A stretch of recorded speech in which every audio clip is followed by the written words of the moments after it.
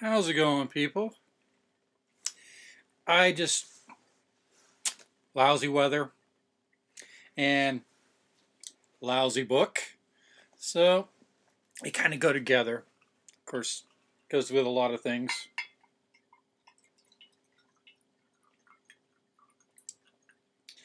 All right. Chapter 16 of Mosiah. And I think there's only one drink in it. I'm considering blasting through chapter 17 afterwards, which is a little thirstier. Skull.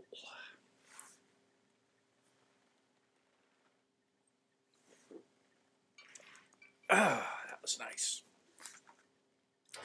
And now it came to pass that after Abinadi had spoken these words, he stretched forth his hand and said, The time shall come when all shall see the salvation of the Lord.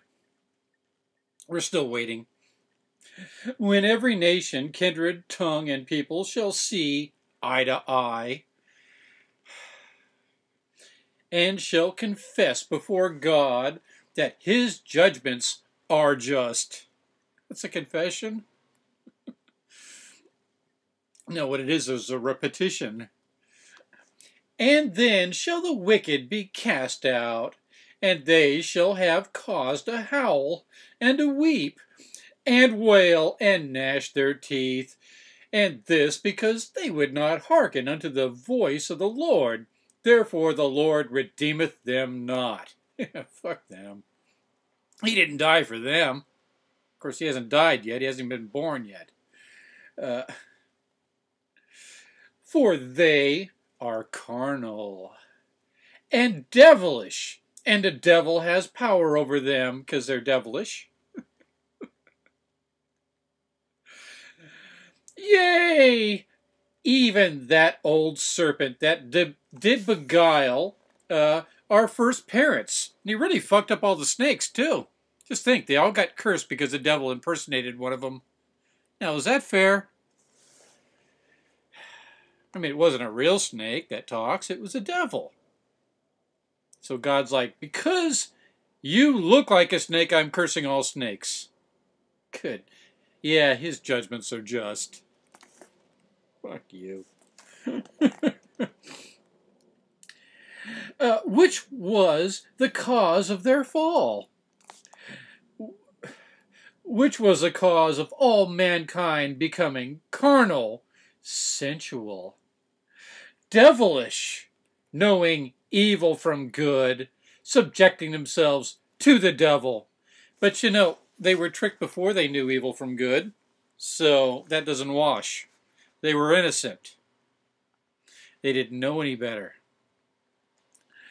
Thus, all mankind were lost, and behold, they would have been endlessly lost were it not that God redeemed his people from their lost and fallen state.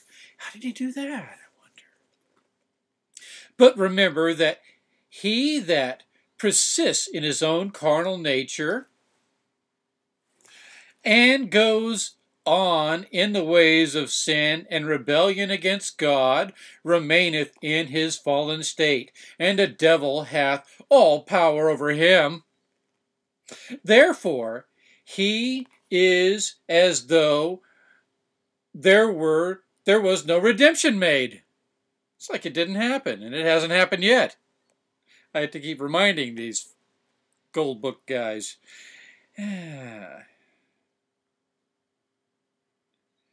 Therefore, uh, he is as there was no redemption made, being an enemy of God, uh, enemy to God, and also is the devil an enemy to God. and now, if Christ had not come into the world, he hasn't yet. This is according to the footnote, about BC 48. So, if you can believe the Julian calendar, they got 148 years of waiting before he's even born, then another 30 plus Like, hurry up and die so you can come back to life and splatter us with your redeeming blood. No more turtle doves and sheep. we have the Lamb of God. Not yet. These fucking prophets. And if Christ had not risen from the dead, had, that's past tense, in BC 148, I remind you. That's uh, verse 7 of chapter 16 of Mosiah. They're referring to uh, the death of Christ in past tense before his grandparents were even born. Uh, or have broken the bands of death that the grave should have no victory. I didn't know we were competing with death. I thought death is just inevitable. And that death should have no sting. There could have been no resurrection if Christ hadn't died, which he hasn't done yet.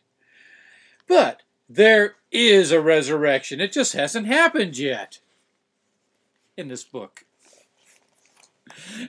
Therefore, the grave hath no victory, and the sting of death is swallowed up, swallowed up in Christ.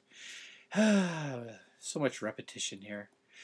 He is the light and the life of the world. No, he will be. Hasn't been born yet. Yay, a light that is endless, but hasn't started yet.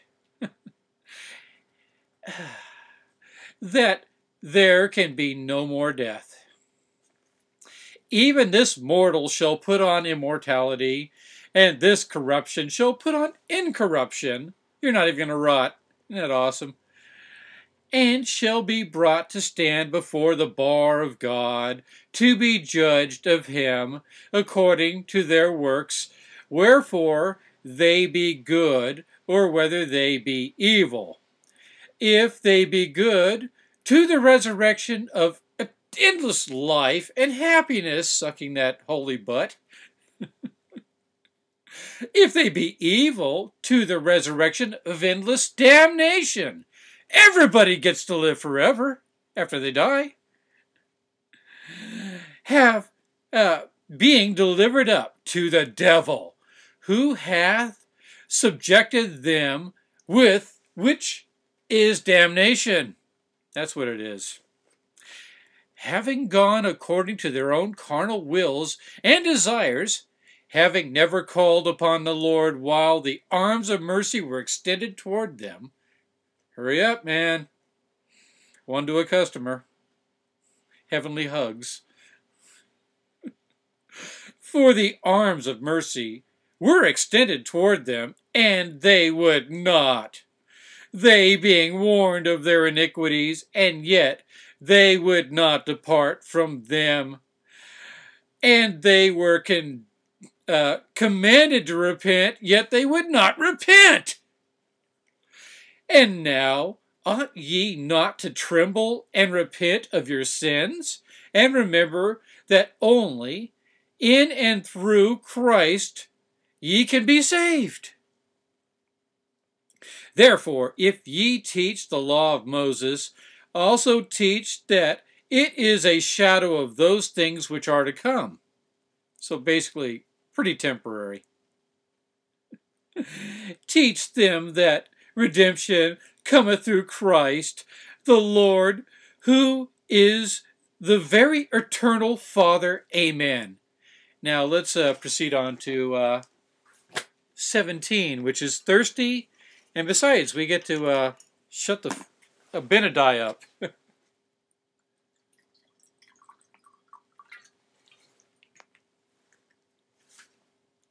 to chapter 17 and Abinadi shutting the fuck up.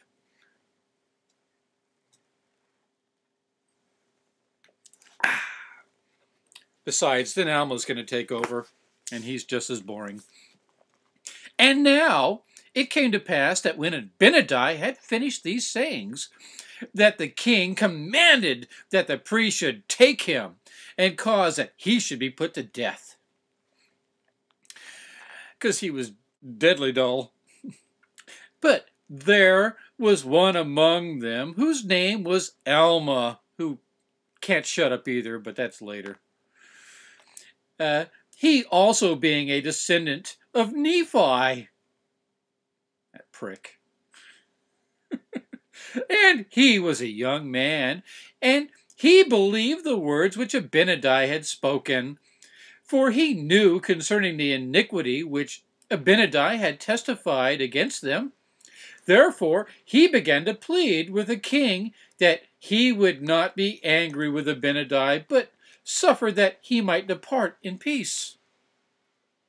But the king was more wroth, and caused that Alma should be cast out from among them, and set his servants after him, that they might slay him.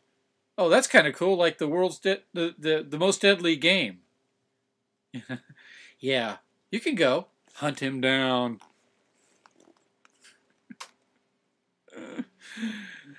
But he fled from before them, and hid himself that they found him not. And he, being concealed for many days, did write all the words which Abinadi had spoken. So he was keeping notes. That's why we have such a, an accurate record here.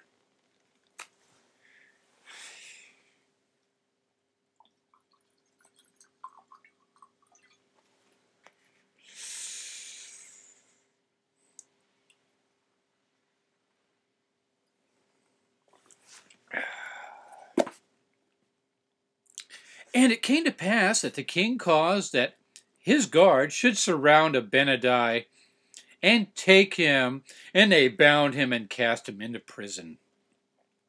And after three days, having counseled with his priests, boy, they're pissed.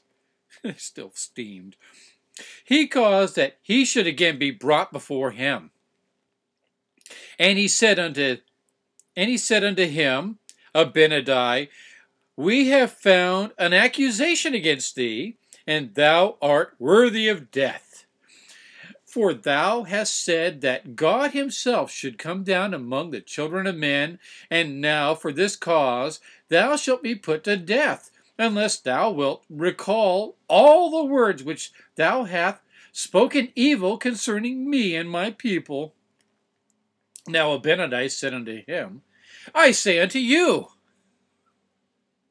I will not recall the words which I have spoken unto you concerning this people, for they are true, and that ye may know of their surety, I have suffered myself that I have fallen into your hands. Yeah, just like Jesus, it was all planned. He could have gotten out of that situation if he wanted to. He just didn't want to. Yeah, so we'll never know if that's true or not but highly doubtful. Yea, and I will suffer even until death. These martyrs. 72 virgins right here. If they were offering 72 sluts, man, hmm, strap a bomb to my ass. But 72 virgins? God, you just make heaven sound so boring. Church forever and you're surrounded by virgins. That I guess have to stay that way. Or they're not virgins, huh? Or are they renewable virgins? I mean, what? You use one, she vanishes and is replaced with a new one? I mean...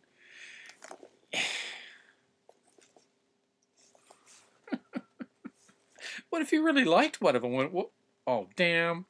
Oh, she's gone now. Here's another one. Besides, it won't get any better that way. and I will not recall my words, and I and they shall stand as a testimony against you.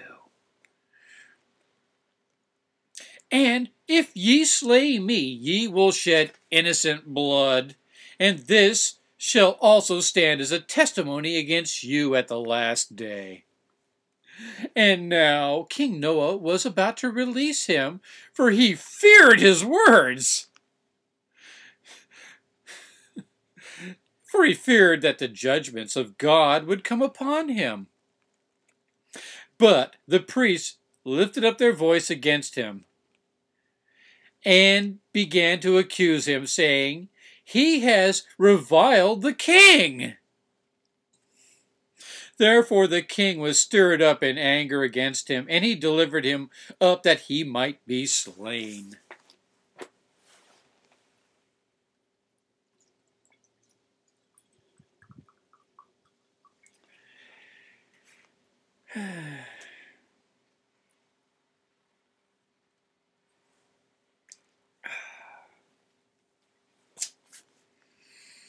And it came to pass that they took him and bound him and scourged his skin with faggots. Yea, even unto death. And now, and now when the flames began to scorch him, he cried unto them, saying, Yeah, now they're burning him with flaming faggots. Behold, even as ye have done this, it shall come to pass. Excuse me. We'll get back to Al Abinadi's barbecue in a minute. He had to say the magic phrase. And it wasn't open sesame, but it was about as factual. So it shall come to pass, this is Benadi talking, that thy seed shall cause that many shall suffer even the pains of death by fire. And this because they believe in the salvation, and this because they believe in the salvation of the Lord their God. Okay. Maybe another drink will lift the fog and I'll understand what the fuck that meant.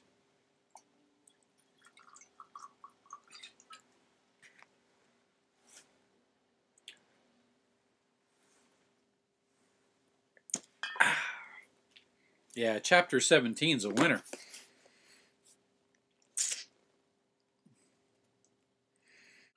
And it will come to pass that ye shall be afflicted with all manner of diseases because of your iniquities, and you're burning my ass. Benedict is starting to smell nice. Kind of like a Christmas ham. Yea, and ye shall be smitten on every hand. Good thing you only have two apiece. And shall be driven and scattered to and fro even as a wild flock is driven by wild and ferocious beasts. He doesn't have anything new to say.